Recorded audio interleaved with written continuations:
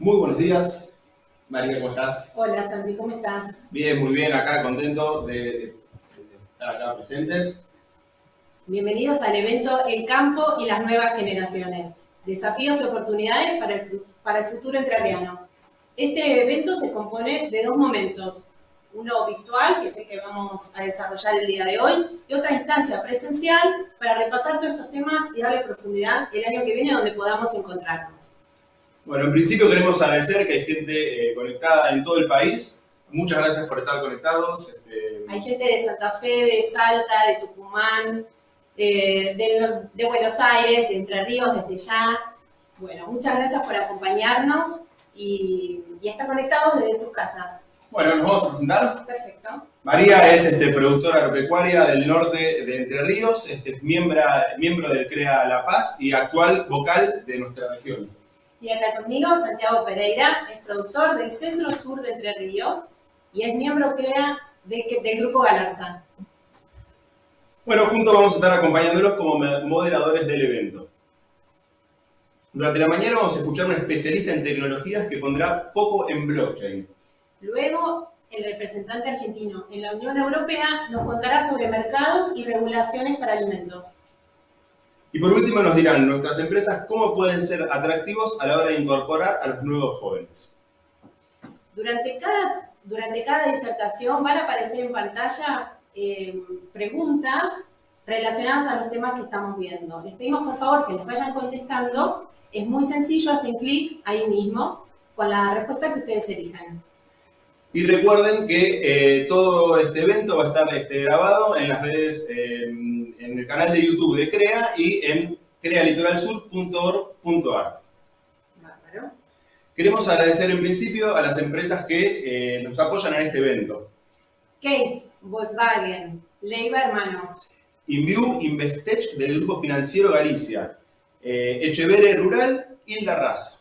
Monasterio Tatersal, Veterinaria Hernández con los productos Betanco, Dacer, Provimi, Facit Agroinsumos, representante Néstor Nani, Cámara Arbitral de Cereales de Entre Ríos. Granar, con su representante Juan Francisco Mendiburo, Ciner Entre Ríos y Don Asdrubal, representantes oficiales de Agrospray y Acronex. Bien, ahora sí, presentamos a nuestro primer orador, Federico Ast, que nos hablará sobre las tecnologías aliadas para agregar valor a nuestros negocios. Federico es graduado en Economía y en Filosofía por la Universidad de Buenos Aires. Es doctor en Dirección de Empresas en IAE Business School, cursó en Singularity University, forador de TEX, es profesor en la plataforma de educación online Coursera y es fundador de Cleros. Adelante, Federico. Hola, eh, ¿qué tal? ¿Cómo están? Un gusto estar acá con ustedes y gracias a CREA por la, invitación. Eh, vamos a hablar un poco del futuro, vamos a hablar un poco en particular de, una tecnología eh, llamada blockchain. Eh, comparto mi pantalla si pueden ver que mm, en los próximos minutos vamos a ver un poco de qué forma esta nueva tecnología, o más, diría más, este nuevo movimiento, de qué forma está transformando una serie de actividades económicas tradicionales y, también vamos a tratar de dar algunas pequeñas pautas de, de cómo esto podría empezar a, impactar en el mundo, en el mundo del lado y lo que a ustedes más les interesa. Em, entonces, sin más preámbulos, eh, em, vamos a, a- empezar la, la disertación. Em, eh, el blockchain nace en el año 2008, em, en medio de la crisis hipotecaria, ¿se acuerdan de Wall Street y Lehman Brothers y todo el derrumbe financiero internacional? En aquel momento, eh, eh, una persona o grupo de personas bajo el nombre de Satoshi Nakamoto, que es un seudónimo, publica un paper llamado Bitcoin, un sistema electrónico de dinero entre pares. Y este, esta, esta moneda llamada Bitcoin, que por supuesto que todos ya conocen, eh, está basada en una tecnología de base de datos llamada blockchain.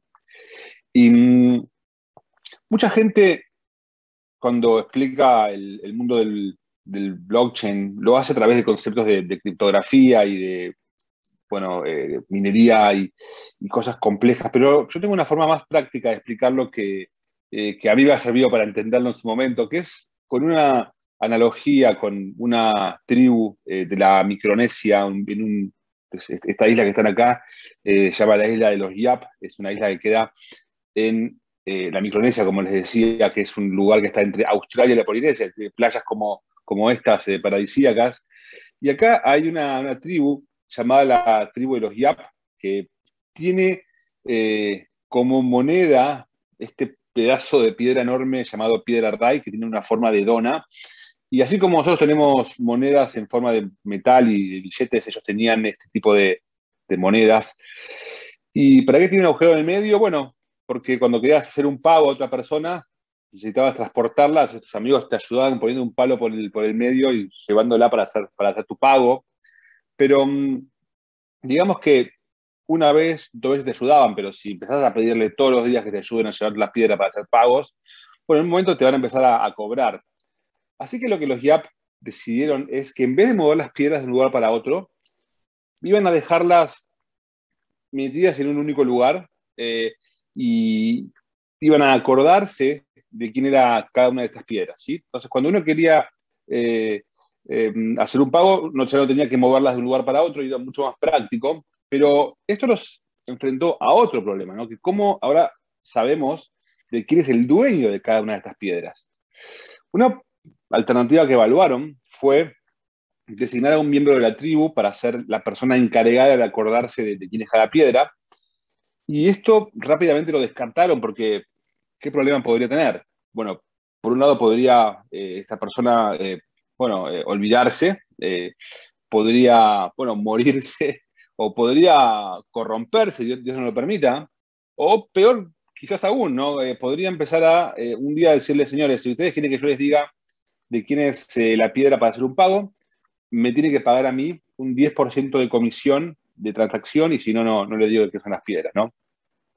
Entonces, como los IAP no querían someterse a este riesgo, no querían poner el monopolio de la base de datos monetaria de la isla en las manos de una sola persona, lo que decidieron hacer fue un registro distribuido, en el sentido de que cada miembro de la tribu tenía la responsabilidad de acordarse de quién era cada una de las piedras desde el momento en que la piedra fue tallada hasta la actualidad. Entonces, cada uno de los, de eh, tenía que acordarse por, todas las manos por las cuales había pasado cada piedra desde su momento de creación.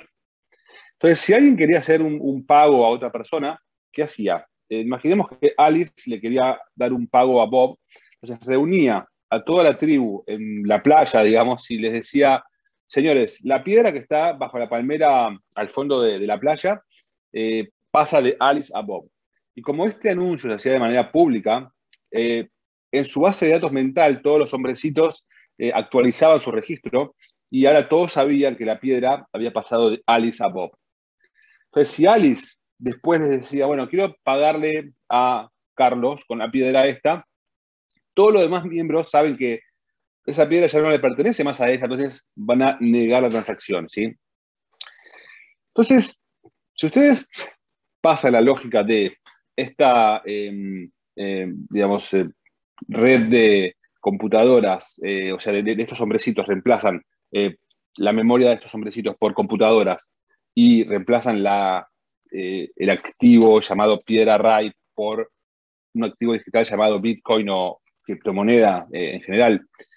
Esta es eh, la base fundamental conceptual de lo que es un blockchain. Es una red de computadoras que mantiene un registro compartido, que no es de ninguna de ellas en particular, sino que es de todas, como un bien público que pertenece a toda la comunidad. Y mm, entonces, todas las computadoras, cada uno de los nodos tiene una copia idéntica del registro de, mm, digamos, em, de monedas que hay en cada cuenta. Entonces, si alguien quiere hacer un pago a otra, cuenta, tiene una llave privada que te habilita, es una llave criptográfica que es como tu, clave de, home banking. Y vos, al tener esto, puedes acceder a tu cuenta a través de un software tipo en tu teléfono, por ejemplo, y anunciar a la red que vas a transferir, no sé, un Bitcoin de tu cuenta a otra cuenta. Entonces, como toda la red de computadoras observan este, este anuncio, actualizan su, base de datos eh, y entonces ahora todos saben que un Bitcoin se movió de la cuenta A a la cuenta B, ¿sí? Entonces, el blockchain lo que hace es reproduce un poco el sistema monetario de los IAP dentro de lo que es el mundo digital y mm, así es como se ve un poco en el mundo digital, el blockchain, el Bitcoin en particular, las transacciones que hacen las cuentas. ¿no? A la izquierda ven una seguidilla de números y letras que es la cuenta de origen, es como digamos el, CBU. Eh, la de la derecha es la cuenta de destino y bueno, y ahí al costadito está la dirección, la cantidad de, Bitcoin que fue transferida. Entonces, este es un registro que eh, lleva eh, ya funcionando varios años. ¿no? El registro del Bitcoin empezó a funcionar en el año 2009, primero usado por muy poca gente, después por, por más. Pero lo, lo, que importa ahora es que se acuerden que el blockchain es una, una base de datos que es distribuida compartida eh, e inviolable, ¿no? En el sentido de, que pertenece a toda la comunidad, a todas las computadoras, eh, y ninguna puede hacer cambios arbitrarios, ¿no? Así como en la isla de los YAP, eh, ningún YAP podía interferir o hackear el conocimiento común que tenían todos los demás sobre las, em, las piedras. Ninguna computadora dentro de la red del Bitcoin puede introducir cambios arbitrarios sumando o restando monedas en las cuentas diferentes. Todo se desarrolla tal cual estuvo especificado en el, digamos, en, en los, eh, en, los, parámetros de la red. ¿sí? Bien, entonces, el caso de uso que, la gente más conoce y más eh, menciona sobre el mundo del, Bitcoin y el blockchain son los pagos, por supuesto, eh, que es em, lo que en un primer momento le atrajo a Bill Gates. ¿no? Él, lo que decía era que el Bitcoin, lo que le parecía fascinante, es que muestra cuán económico se puede hacer un pago en un contexto internacional o, cualquier tipo de contexto. ¿no? Eh, como ustedes saben, si ustedes tienen que hacer un pago eh, internacional, eh, digamos, tienen que usar un sistema llamado la red SWIFT, que es una red bancaria de la década de 70 que está basada en un consorcio de bancos en el cual para mandar un, pago, no sé, de Argentina a, no sé, Tanzania, ustedes tienen que pasar por una serie de intermediarios en el cual cada intermediario cobre una comisión y, esto puede hacer que el, costo de, digamos, de envío de comisiones sea a veces del 20% de, del valor.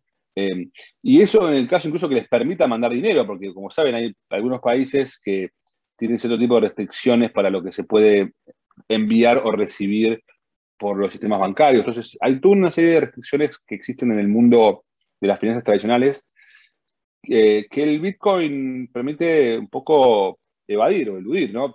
Por ejemplo, em, a través de un pago en Bitcoin o de una, transacción de Bitcoin, yo puedo mandar dinero, no sé, de Canadá a Argentina a un costo que es casi cero y eh, de una manera que es, eh, digamos, eh, por fuera del sistema SWIFT tradicional, que permite, bueno, no tener que pagar esas comisiones tan, tan elevadas que, tiene el sistema bancario, ¿no? Entonces, este fue el primer caso de uso importante que se, que se visualizó para el Bitcoin en los primeros tiempos, pero yo que les quiero hablar un poco de cosas que a ustedes les van a ser un poco más cercanas y que están en un punto vinculados con lo que es la trazabilidad. Em, recuerden, el blockchain es una red de computadoras que mantiene un registro distribuido inviolable, inalterable de, información. Y desde los primeros momentos de, esto, eh, se empezó a pensar que, bueno, ¿para qué sirve un registro distribuido e inalterable? Por un lado, sirve para mantener una base de datos monetaria. Pero, ¿qué tal si usamos para actividades de trazabilidad? ¿no? Eh, sé si vieron esta película llamada Diamantes de Sangre, eh, que es sobre la guerra civil en, Sierra Leona, en, África, y los grupos de paramilitares que había ahí eh, se financiaban a través del trabajo esclavo en las minas de diamantes que, hay en, en Sierra Leona. Entonces, una empresa llamada Everledger en su momento desarrolló un método que permitía hacer trazabilidad de los diamantes producidos en diferentes lugares y ponerles un sello de, garantía de que esos diamantes no habían sido hechos por trabajo esclavo. Eh, y así cuando uno estaba, digamos, en su, eh, comprando un anillo de bodas en, Tiffany's, uno podía saber que ese anillo que estaba viendo ahí, si tenía el sello de, de Everledger, no había sido producido de manera un poco ética, ¿sí? Eh, y mm, esta lógica de trazabilidad que empezó por Everledger, después se transfirió a otras industrias. ¿no? Provenance, por ejemplo, es una empresa que también se especializó en sellar dentro de lo que es el blockchain em, la trazabilidad en el contexto de cadenas de, suministros. Em, y en particular el caso de uso que ellos empezaron a trabajar al comienzo, también estaba vinculado con, con temas de trabajo esclavo, en particular en la industria de la pesca de, en, Filipinas. En Filipinas había muchos problemas eh, de que los barcos pesqueros eh, usaban trabajo, trabajo esclavo para, para, sus actividades. Entonces lo que Provenance hacía era dar un sello basado en blockchain para asegurar al consumidor eh, del supermercado que todas las etapas habían sido em, respetadas para mm, saber que, el pescado que iba a consumir no había sido eh, producido en condiciones poco éticas de manera parecida a lo que había hecho Everledger, ¿no? Y nuevamente, el blockchain lo que daba es em, este, esta, garantía de em, certeza de que nadie había manipulado el registro en, algún momento del camino para meter un, pez que había sido, bueno, eh, producido de manera inadecuada dentro de un paquete que digamos, había sido, que, tenga el sello de, garantía, ¿no? Entonces, diferentes actividades, después diferentes empresas empezaron a, ver el potencial, el uso del blockchain, lo que es supply chain. Eh, Carrefour desarrolló eh, una iniciativa, también Walmart. Esto fue explorado muy profundamente por IBM. acá, por ejemplo, pueden ver una aplicación en la cual un consumidor puede sacar una, imagen con su código de, Em, bueno, en un cajón de naranjas y eh, en base a esto eh, puede ver en, su pantalla todas las etapas por las cuales pasó este cajón de naranjas y asegurarse de que fue producido y transportado en condiciones adecuadas. ¿sí? Es un gran caso de uso tenemos en trazabilidad. Y a mí me contó un pajarito que, que algunas personas acá del público quizás ya hayan estado explorando este tipo de, de, herramientas eh, de blockchain para, em, eh, digamos, el uso de trazabilidad, en particular en el entorno de la industria de la, leche. Yo me contaron que la Rosalía, eh, que son miembros de, CREA, ya está empezando a pensar en, este tipo de, aplicaciones dentro de camiones cisternas de, transporte. Me gustaría, de hecho, que ustedes me cuenten un poco más sobre este caso de uso que me parece fascinante y totalmente a la frontera del, conocimiento en lo que es blockchain aplicado a trazabilidad. Entonces, ahí vimos un conjunto de, actividades eh, vinculadas con el blockchain y trazabilidad, pero vamos a llevar un poco más allá toda esta lógica. Introduzcamos un concepto nuevo, ¿no? que es la tokenización. Eh, como saben, un activo digital como el Bitcoin, eh, bueno, es un activo monetario, pero en el fondo una moneda digital puede representar cualquier cosa, ¿no? Puede representar, eh, ¿por qué no?, una acción de Tesla, si quieren, o puede representar tal vez una propiedad de, real estate o mm, de una casa, o puede representar un título de propiedad de un auto, o, ¿por qué no?, un edificio de oficinas en Nueva York. Entonces, el uso de tokenización eh, permite abrir el camino para nuevos modelos de financiamiento, como por ejemplo, imaginemos que alguien desarrolla un proceso inmobiliario, proceso inmobiliario en Nueva York y quiere, bueno, quiere recaudar fondos para poder, eh, bueno, financiar su proyecto. Entonces, eh, a través de la tokenización podría conseguir fondos de 100.000 pequeños ahorristas de, todo el mundo, donde cada uno pone, no sé, 50 dólares o 100 dólares bajo la forma de criptomonedas, y a cambio de su, de su inversión recibe un token que representa cierta cantidad de metros en el departamento eh, o en el edificio de oficinas que se está eh, construyendo. Y una vez que este edificio empiece a producir eh, ingresos por alquileres, todos los tenedores del token que representa una parte de ese edificio van a empezar a recibir flujos de fondos surgidos de esos eh, alquileres, ¿sí? Entonces, esto le permite a personas de todo el mundo, o sea, democratiza el acceso a gente de cualquier lugar del mundo para que eh, empiece a eh, invertir en proyectos que típicamente estaban únicamente reservados para, bueno, desarrolladores e inversores de, de gran escala. Así que, bueno, cualquier persona de, Filipinas, Indonesia, o Concordia, Entre Ríos o, donde sea, puede empezar a, participar en igualdad de condiciones en, este mercado. Y mm, hay ideas todavía más locas, ¿no? Si, les interesa, por ejemplo, un jugador de fútbol también se puede considerar como un activo financiero que va a generar un flujo de ingresos en, el futuro. Entonces uno podría invertir en un token que represente cierta parte del pase de Messi y, eh, digamos, un 0.0001%. Y cuando Messi, o sea, genere un ingreso en el futuro, todos los tenedores del token de Messi van a recibir, em, bueno, una parte de, su, de, este ingreso, ¿sí? Eh, esto parece ciencia ficción, pero no lo es. Ya en la NBA se hizo un jugador llamado Spencer Dinwiddie, tokenizó su contrato a la NBA eh, y em, vendió, lo vendió y recibió el dinero hoy y los inversores recibieron un token que le van a dar el derecho a recibir flujos de fondos del contrato de Dinwiddie en los próximos años. Entonces, el token puede representar cualquier cosa y, ¿por qué no una eh, parte futura del ingreso a generar por un barco de pesca de Perú? ¿O, por qué no, eh, una regalía eh, de la canción futura que va a lanzar un grupo de música de, Japón. Y ya hay gente que está empezando a explorar, incluso en Argentina, el uso de tokens para mm, la venta y para modelos de financiamiento. Una persona es Mike Barrow, que es un em, emprendedor, un bodeguero de Mendoza, que tiene un proyecto llamado Open Vino, que él lo que hace es, te vende su cosecha de vino de digamos, dentro de tres años a través de un token que vos compras hoy. Entonces vos le pagás eh, la botella hoy, recibís un token y cuando él produzca este, este, este, vino que vos estás comprando, vos le mandás su moneda y él te manda, te manda el vino, ¿sí?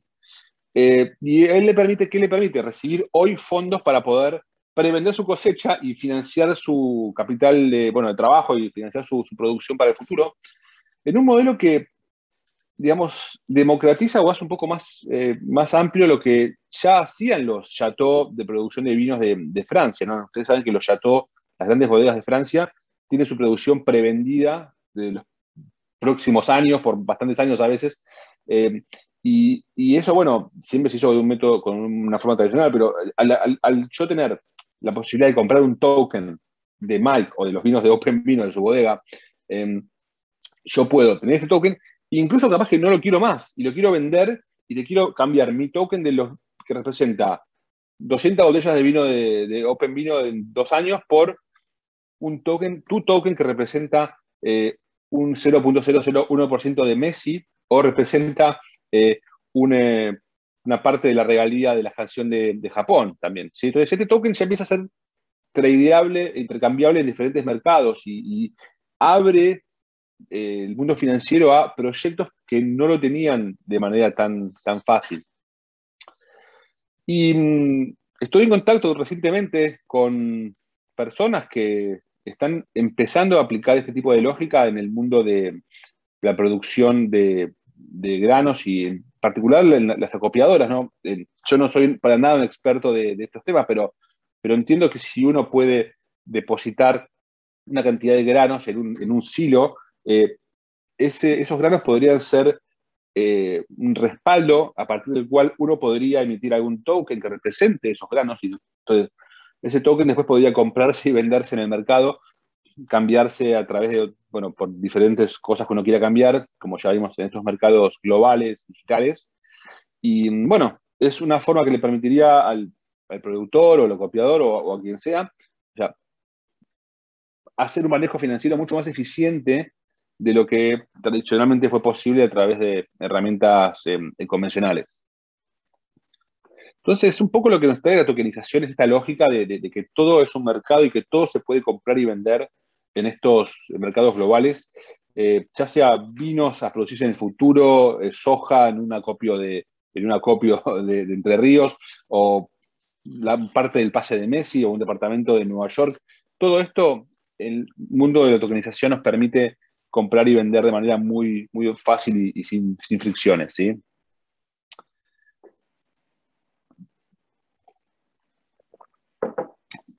Bueno, avanzamos un poco más todavía y nos metemos en el mundo de los smart contracts, que es una idea que nace en la década del 90 en un paper de un criptógrafo llamado Nick Szabo, que es lo que propone en su momento es una, una observación en la que él dice que, miren, el mundo del futuro eh, tiene más y más parte digital y más mercados globales, como estuvimos viendo. Pero el problema es que la tecnología que tenemos los humanos para hacer acuerdos todavía está definida por tecnología, una tecnología vieja, ¿no? que es el acuerdo de contrato de papel, ¿no? que es un, legado que tenemos del siglo XV, ¿no? si quieren, es la imprenta de Gutenberg en el fondo. ¿no? Entonces, lo que dice Nick Szabo es que cada vez más se iba a hacer em, notoria y cada vez más grave el choque entre este mundo del e-commerce y de lo digital que se nos viene encima y em, el mundo del papel y, el, si se el derecho tradicional que, heredamos de nuestros padres. ¿no? Entonces, en el paper le pone un ejemplo como el siguiente para ilustrar lo que son los smart contracts. Tenemos a Alice y Bob que hacen un acuerdo en el cual Alice le va a vender su auto a Bob eh, a cambio de ciertos pagos que Bob va a hacer en criptomonedas. Y eh, el acuerdo este se hace bajo la forma de un contrato inteligente, ¿no? un smart contract. Y entonces Bob hace su primer pago eh, y se lleva, se lleva el auto, se va a pasear con, con su mujer a Gualeguaychú, digamos, y un día Bob deja de, pagar su, cuota mensual del auto y ¿qué pasa? Su, llave em, electrónica deja de funcionar ¿sí? Y mm, el auto se apaga y eh, Alice recupera su auto porque su llave se, volvió a activar y bueno, así es como ella, recupera su propiedad. Entonces, ¿qué tendría que haber hecho Alice para recuperar su coche por la vía legal tradicional? tendría que haber demostrado que tenía la propiedad del auto, que con un papel que dice título de propiedad, tenía que haber demostrado que ella le había vendido su auto a Bob a cambio de cierto pago mensual, o sea, un contrato con Bob. Y tenía que después demostrar que Bob no había cumplido con su parte del acuerdo, en el sentido de que no había hecho el depósito del pago que, estaba en el contrato estipulado. Entonces, ¿cuánto le hubiese costado a Alice hacer esta, esta demostración? Bueno, no sé, tendría que haber buscado un abogado, seguramente le hubiese costado eh, el equivalente a em, dos o tres autos quizás. Entonces, lo que pasó acá es que eh, el smart contract permitió que el acuerdo se ejecute de manera inmediata y, automática, de manera eh, a un costo casi cero. Entonces, esto es lo que tiene los smart contracts de revolucionario, que permiten que los acuerdos que se hacen se ejecuten de manera inmediata. ¿sí? Eh, entonces, la idea de los smart contracts de, Nick Szabo nació en los 90 y por más de 20 años fue una idea abstracta que nunca se había implementado. Hasta que en el año 2014, este, este joven que ven en pantalla, llamado Vitalik Buterin, es un joven canadiense, desarrolla o lidera el desarrollo de un blockchain llamado Ethereum, que es muy parecido al blockchain del Bitcoin, pero tiene una diferencia que es que tiene un lenguaje de programación que es mucho más sofisticado y permite programar los smart contracts. Entonces, cualquier cosa que ustedes puedan poner bajo eh, la lógica de si X, entonces sí, en principio la podrían programar como un smart contract, un acuerdo digital de autoejecución. Y un ejemplo fácil es, imagínense que ustedes tienen un vuelo y su pasaje puede tener una cláusula de seguro que dice, si el avión sale con una demora mayor a 20 minutos, entonces el pasajero recupera un 20% del ticket, del valor del ticket, ¿no? Y en este caso, lo, que, lo que va a pasar es que de manera automática, sin necesidad de ir al regulador, sin necesidad de ir a eh, Customer Service, sin necesidad de ir a la justicia ni nada, automáticamente, cuando no se cumple la condición de que el vuelo salga a término, ustedes recuperan un reembolso que se hace de manera inmediata. ¿sí? Y hay un montón de aplicaciones que seguramente se van a empezar a estar desarrollando en los próximos años vinculado con eh, el mundo del, del agro.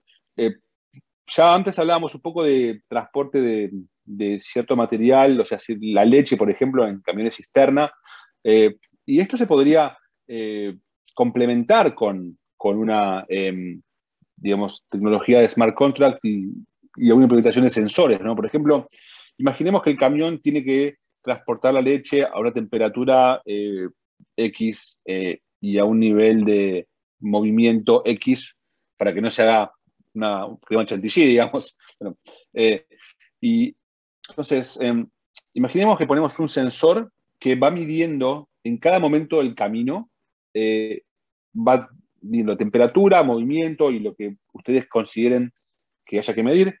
Entonces, si este sensor registra que hay más movimiento o más temperatura de la que era aceptable dentro del contrato, automáticamente podría registrarse una especie de descuento en el pago que le hace el, em, o sea, el que contrata el transporte al transportista. Ah, se movió el camión más de X vibraciones por, por minuto o como ustedes quieran medirlo. Ah, entonces, según el contrato, hay un descuento del 10% en el precio de, transporte que se va a pagar.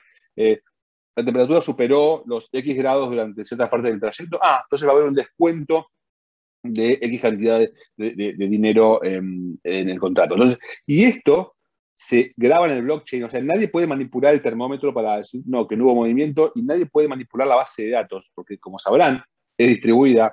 Entonces, esto le da a las dos partes la certeza de que lo que mide este termómetro, que es un termómetro seguro, son aparatos especiales, eh, va a ser lo que realmente pasó y que nadie lo manipuló. Entonces, la trazabilidad de este proceso más la potencia del smart contract para ejecutar cierta regla de negocios basada en estos datos permite, em, bueno, diseñar un, montón de contratos super más eficientes que lo que había sido posible hasta la actualidad en el mundo de, en el mundo de eh, digamos, transporte de material agropecuario. Y mm, hay un montón de otros eh, casos de uso que vinculados a la intersección entre los sensores y los smart contracts, por ejemplo, no sé, un seguro de, contra las sequías, ¿no? Un pluviómetro seguro que grabe las em, eh, precipitaciones en el blockchain podría disparar un pago de un seguro de una empresa de seguros a un productor si no se registran al menos X cantidad de milímetros de lluvia durante el periodo del seguro. ¿sí? Y todo esto con la garantía que debe dar los smart contracts de que la ejecución se va a cumplir de manera como está en el contrato. Y mm, una extensión más todavía eh, que vamos a hacer, y ya con esto es el último tema que vamos a tocar, es lo que es cleros y lo que se conoce como justicia descentralizada, que es lo que, en lo que yo me especializo, que es la empresa que yo fundé y, dirijo.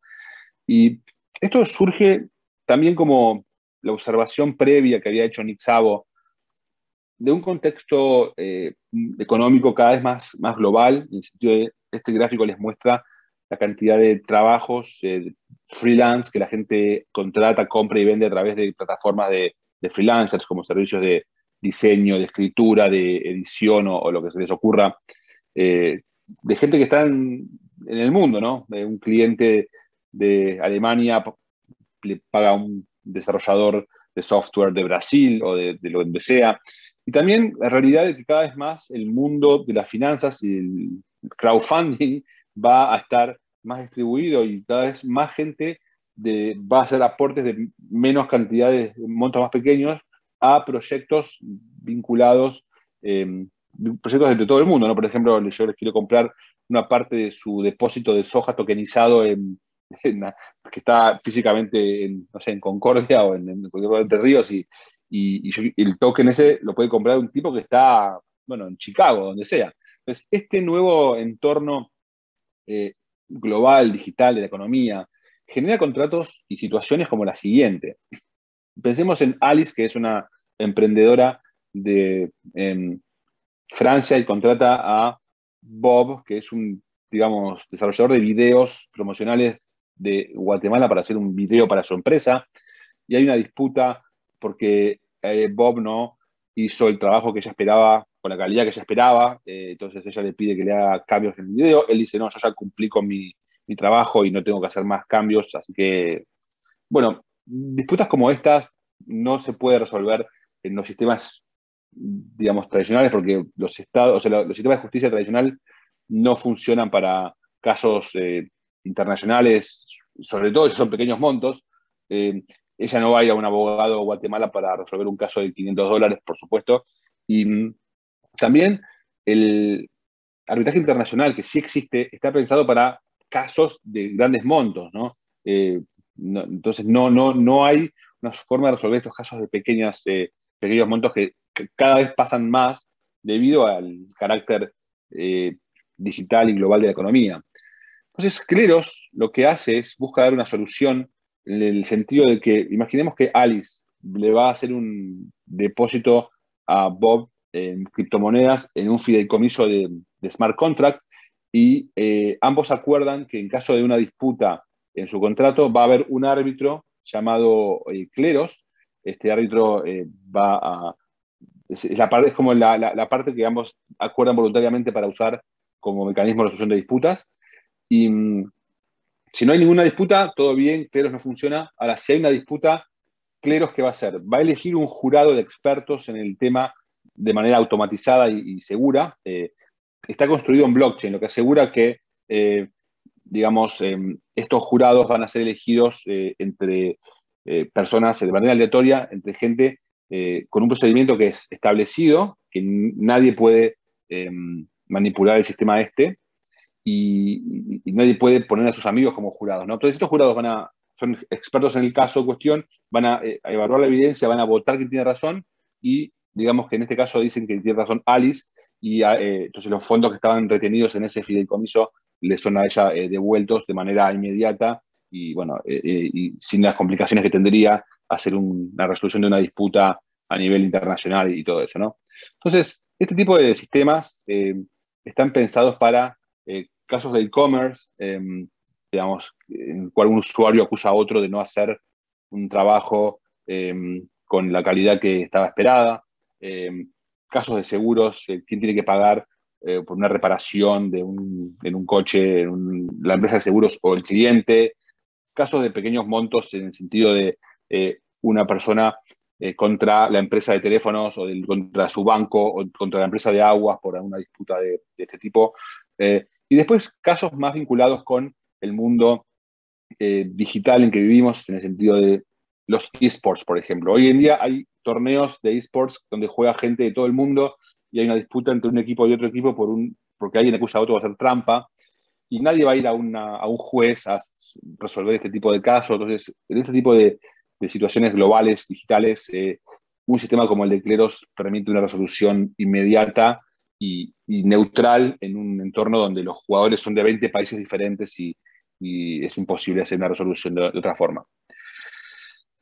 Y seguramente eh, el próximo paso de, este movimiento será el uso de este tipo de mecanismos para resolver conflictos que vayan a empezar a surgir en el contexto de la producción de agropecuaria, que podrían ser situaciones vinculadas con transporte, situaciones vinculadas con rendimientos de, cosechas, eh, situaciones que ustedes, por supuesto, van a saber mucho mejor que yo porque son los expertos. Yo nada más trato de darles un contexto eh, un poco general de la tecnología, de cómo funciona y de cómo se ha ido aplicando eh, en el pasado. Y voy ya cerrando con esto. Si quieren saber un poco más sobre lo que es blockchain y sobre las aplicaciones potenciales, yo soy docente de un programa de Coursera de la Universidad Austral que es gratis, es en español y les va a dar un em, conocimiento general sobre la industria. Así que los invito también a anotarse, como les digo, gratis en español y a distancia. Así que espero haberles dado un conocimiento más o menos general de, esta nueva tecnología y que les pueda servir para, aplicar su, en, sus, empresas y en sus proyectos. Así que muchas gracias y quedo a disposición de las preguntas que, puedan tener.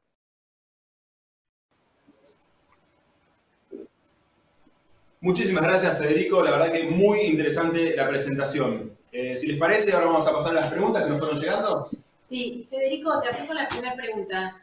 ¿Cuándo crees que el blockchain estará integrado masivamente a los negocios del agro?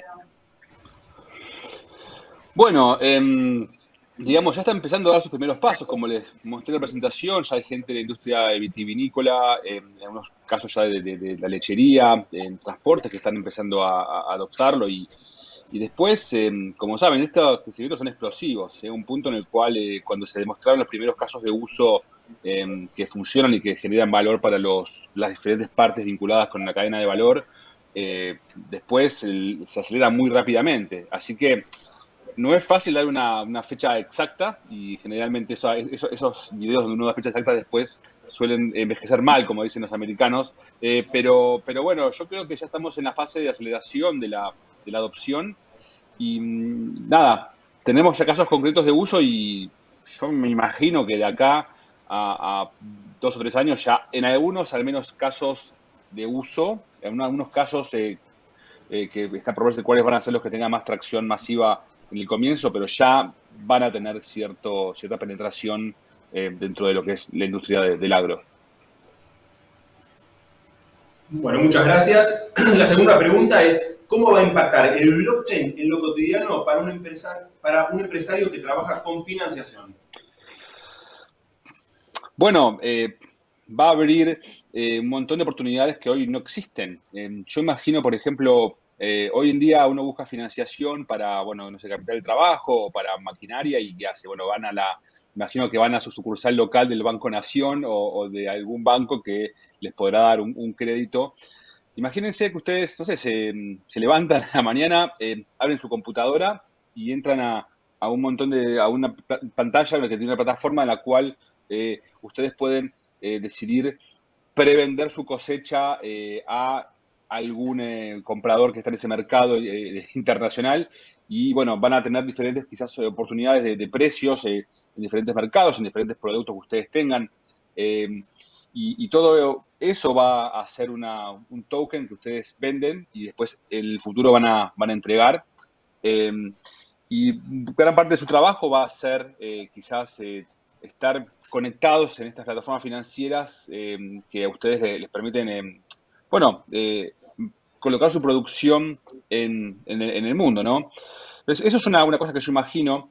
Imagino también que el, este agricultor, digamos, significado, em, también va a tener que tener un poco más de exposición hacia estos inversores que, han invertido en su proyecto, ¿no? hay un poco de, si quieren, de public relations que va a tener que hacer. No, es nada más venderla, quizás la cosecha, sino también es mostrar de qué forma está avanzando la, digamos, la plantación, de qué forma está eh, los rindes o, o, bueno, todas las cosas que eh, a un inversor en tu cosecha le puede interesar saber cómo está avanzando el tema para ver cómo va a ser su retorno de la inversión.